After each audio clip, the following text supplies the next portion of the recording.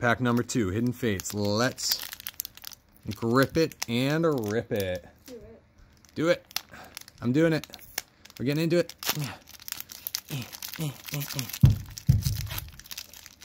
Charmander. Is that a sign? Let's see. All right, there's your code card for this pack. All right. We got a Pewter City Gym, Giovanni's Exile, Koga's Trap, our boy Charmander, Magikarp, Slowpoke, Clefairy, Koffing. We got Brock's Pewter City Gym and, ooh, a Holo Eevee.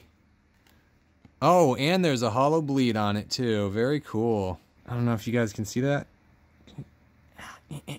Oh yeah, there's definitely Holo Bleed on that. Nice. Good card. Nice pull. Solid pull.